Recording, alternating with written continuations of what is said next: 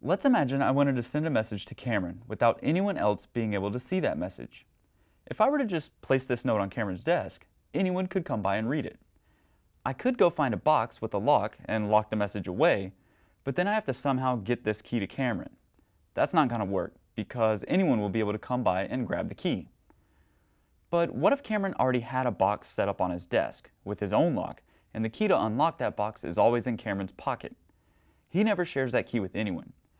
I could then come by his desk, place my message in the box and lock it, and no one else can ever see that message.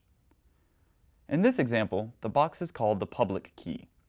The box can be left out in the open, shared around without any consequence. The key in Cameron's pocket is called a private key.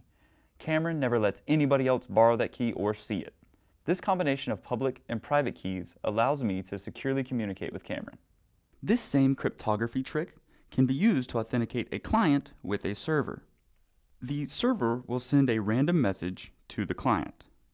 The client will encrypt that message with their private key and then send that encrypted message back to the server.